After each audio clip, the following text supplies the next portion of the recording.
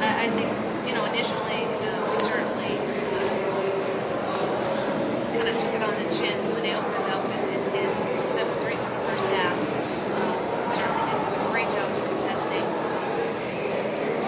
You know, I thought uh, overall defensively, uh, it was a decent job. You know, struggled offensively or struggled to score, uh, and that's something that you know we'll continue to work on. And part of it is just trying to create shots for others so that they are easier shots. We're getting better penetration from the guards, and now it's just you know getting used to when someone does penetrate and draw someone. You know where our guards and even our posts have to spot up and go to an open area so they have a nice, comfortable shot.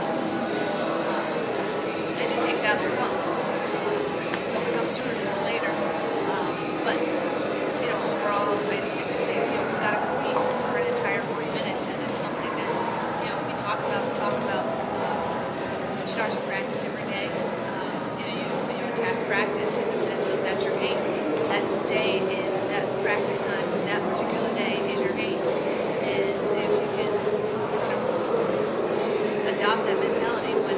actually